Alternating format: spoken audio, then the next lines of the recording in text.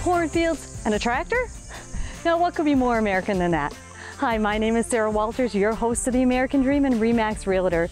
Today, I would like to welcome you to Waterloo, Wisconsin, and we're going to be stopping by Hubbleton Brewery. They actually make their own beer from start to finish. They even grow their own hops. So come on along, because there's a lot to do in Waterloo.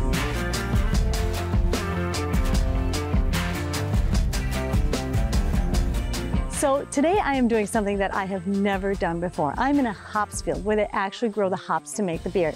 And I'm joined by Mike from Hubbleton Brewery, mm -hmm. Where they make the beer from start to finish. Mike, thanks for joining us here today. Yeah, of course, of course. So we are here at a hops plant. Mm -hmm. Can you tell me a little bit about this? Yeah, definitely. So Wisconsin used to actually grow a large, large volume of them. They were one of the biggest producers in the nation for many years. Great. So these are green, and uh, when when are they ready to harvest? So these are kind of like pine cones. If you notice, uh, some of them are really tight on here. The, the blades are coming down really tight. Yeah. When they're ready to harvest, it'll start to fan out and you can actually see the yellow resin called lupulin inside of it. And that's about when you know it's ready to harvest.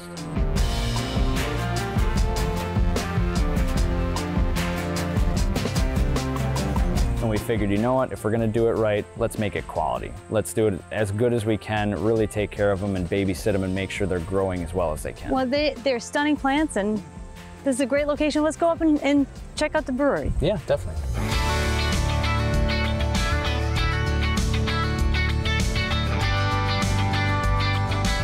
Okay, so we are in the brewery where they make the actual beer, and we're standing in front of these gigantic silver tanks. Can you tell me how these are used in the process and what they're used for? Yeah, definitely. So these are our 10 barrel larger scale fermenters. So when we make larger batches of beer, like our year-round beers and things that we produce very consistently, this is where we put them so we can make more beer more efficiently.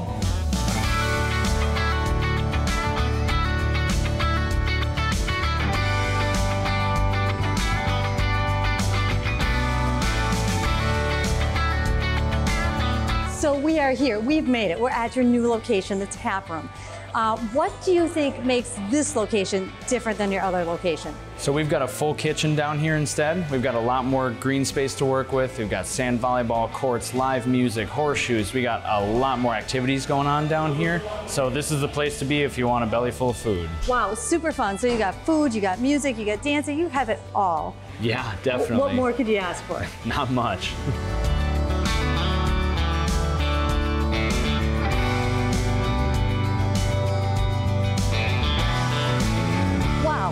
Hubbleton Brewery. Great place, great people, but now it's time to go check out one of my new listings.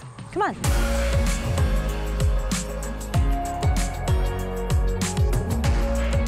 This stunning country home has it all.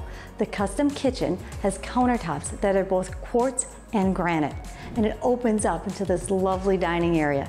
And who wouldn't want to sit next to that cozy fireplace in the middle of a Wisconsin cold winter? The home has three bedrooms, two baths, and a walkout basement. And just what every country home needs, a barn. This steel barn was built just last year and it's a perfect size to store all your toys.